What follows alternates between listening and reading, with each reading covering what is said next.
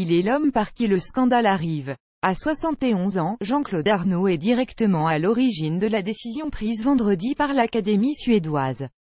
Institution fondée en 1786 et inspirée de l'Académie française, de ne pas décerner le Nobel de littérature cette année.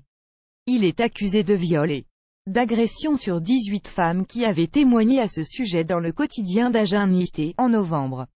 Né à Marseille en 1946, le Français est installé en Suède depuis plus de 40 ans. Photographe de formation, il ne semble pas avoir laissé une œuvre impérissable, à part en illustrant des livres de sa femme, la poétesse de renom et académicienne Katharina Frostenson.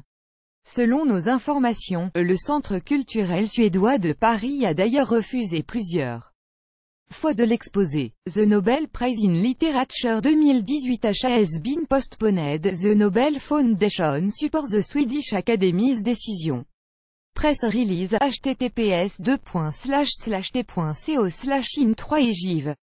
Nobel Prize arrobase Nobel Prize May 4 2018 quasi inconnu du grand public avant que n'éclate l'affaire de harcèlement sexuel, il s'est en revanche imposé comme incontournable de la vie intellectuelle de Stockholm. Le petit milieu des écrivains, reconnus ou en passe de l'être, se presse au Forum, le lieu culturel et intello, qu'il a ouvert en 1989. Il y organise des concerts, des conférences et des happenings, comme une lecture en continu de « À la recherche du temps perdu » de Proust par des dizaines d'auteurs. Il est de bon ton d'y être vu, le 19e membre de l'Académie Nobel, qui en compte 18 hommes de, il forme également avec sa femme un couple d'influence.